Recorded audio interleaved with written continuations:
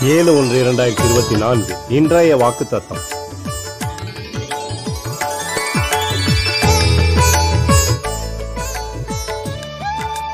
உன்னை ஜாதிகளுக்கு தீர்க்கதரிசியாக கட்டளையிட்டேன். இறைமைய ஒன்று ஐந்து.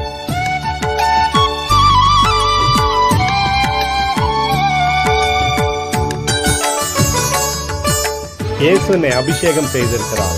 இந்த வாக்கு தத்தத்திற்காக இயேசுவுக்கு நான் நன்றி செலுத்துகின்றேன்.